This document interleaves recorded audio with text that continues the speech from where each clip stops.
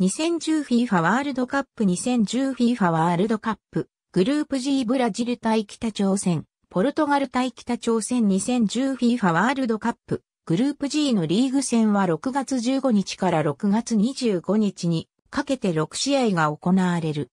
グループ G にはブラジル、北朝鮮、コートジボワール、ポルトガルの4カ国が入っており、試合の勝敗による勝ち点などでグループ内での順位が決まり、上位2チームが決勝トーナメントに進出する。